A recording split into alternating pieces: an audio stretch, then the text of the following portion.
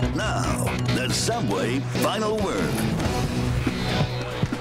Earlier this week, the Pens got the word Pascal Dupuis out at least six months while he's being treated for a blood clot in his lungs. The panel debates who should go where and with whom in trying to uh, figure things out on the lines. I'm Alby Oxenreiter with tonight's panelists Mark Kaboly, Rob Rossi, John Steigerwald. Topic two with Dupuis out for the season. Should Hornqvist be on the line with Malkin or Crosby? Let's start with Rob Rossi. So there's no easy answer to this because Sidney Crosby's going into another one of his funks.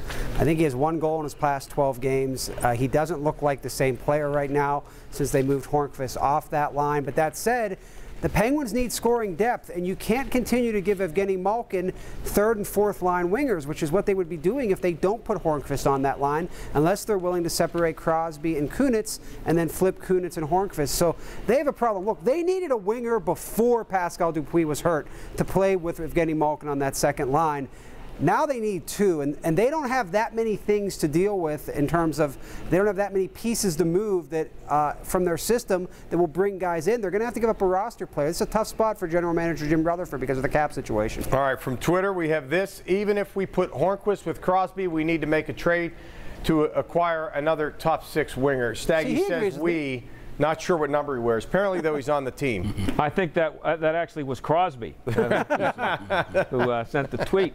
Now, you know, I, I don't get into the. I don't uh, claim to know enough about hockey to be telling the coach uh, one fourth of the way into the season who should be on whose line or who would be better. I think one of the things about the, the NHL is that you have 81 or 82 games to figure that out. Uh, they've reached about the 20, the one quarter pull right now and uh, I, I, just think you keep experimenting until you come up with the right combination with the idea that you have plenty of time to make a trade. The trading deadline isn't until the end of March, so I, I just don't think it's an urgent thing right now. But uh, Crosby not scoring a goal in 12 games is kind of interesting, and you have to find out if that's him or who he's playing with or not playing with. I'll be real quick. Jim, General Manager Jim Rutherford has a history of not waiting until the trade deadline okay. to make trades. Yeah, I, I no, no, no, he does. So they might do something sooner here. Mark Kaboly.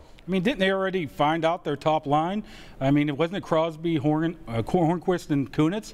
Uh, they were pretty dynamic when they were together earlier in the season, and I think they need to go back with that. Crosby, you're talking about his struggles. I mean, uh, him, he and Hornqvist work well together. They got good chemistry. Crosby likes wingers that can go to the net, and that's what Hornqvist does. So I say put those two together, and I think you're, I think you'll uh, help out Crosby, and you'll help out the top line. You'll help, help out Hornqvist. I think that's what you need to do. All right, moving on. Russell Martin, long gone now, which means the Pirates have some money to spend, right?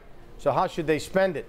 How should the Pirates uh, take all that money and allocate it? Should it go to free agents or maybe signing current players to long-term deals? Uh, Staggy, I know you have an opinion on this. Well, it, uh, it depends on who the the, uh, the free agent is and who the long-term player is. Um, I, I think they need to get some pitching. We have to see what's going to happen with Liriano and uh, Edinson Volquez. And I, you know, the thing about the Pirates is they right now are not as good a team as they were last year, and they have to do, figure out a way to make moves to make themselves as good as they were last year. Part of that involves replacing Martin, which they're not going to be able to do, so they got to get stronger somewhere else and um, uh, they've made the decision that they're going to put uh, apparently Alvarez at first base, which is a, was one smart thing they did, which means their third base situation is settled too. But they have to find more starting pitching, and that and a lot of that is going to be determined by what happens with Liriano and Volquez, both of whom are probably gone, which will really put the Pirates in a tough spot. All right, from Twitter, Matthew has an opinion on the subject.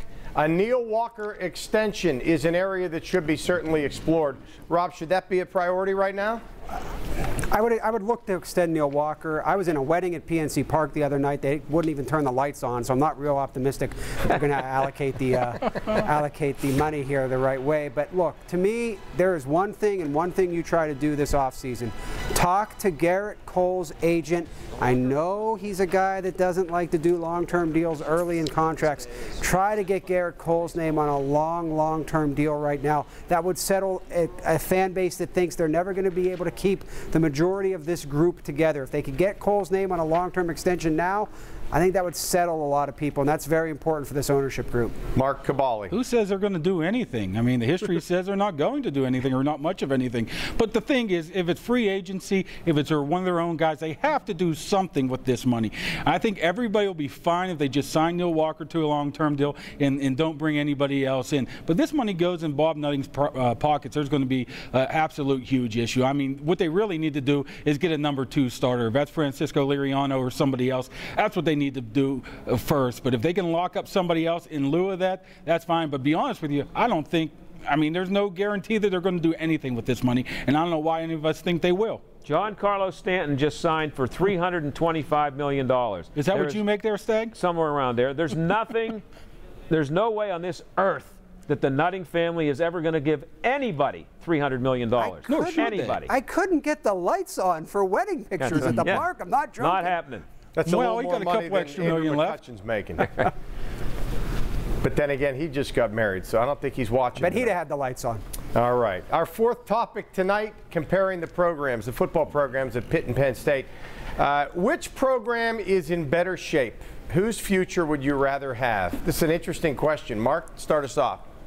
Well, I, I, think Pitt off the bat. If you're just going strictly personnel and, and, players, I think it's Pitt because Pitt's offensive line is, is I think, really good. They got some uh, young players that they're going to move forward. I'm not 100% sure James Franklin's in this for the long haul. I could see him being a one or two years and done. I know it's going to help them that they're getting some of those scholarships back next year and, and they could be able to be better right now. But, you know, to be honest with you, it's either one of them. They're not a very good program, and I don't see them being in the upper echelon. But if you like put me down to take one, I'm just going to say Pitt because I like Paul Chryst. I like how their offense runs, and I like their youth. Uh, Penn State, it's just Hackenberg and really not much of anything else. All right. Uh, from Twitter, PSU will be in the national title hunt oh, next few no years. 107,000 fans. Pitt loses to Akrons of the world. Uh, Stag, their, their attendance is considerably lower as well uh, at Heinz Field than the uh, Nittany Lions have up at uh, Beaver Stadium. Yeah, they're up at Beaver Stadium, and they would 100 100,000 would show up if they played Penn Hills. So that, that doesn't mean anything. Uh, there's not much. They, they're drawn from the entire state. That's a different argument. But if you're talking about the football program. Uh, as, as uh, Mark said, they are a young team. They're the youngest team in the country, I believe.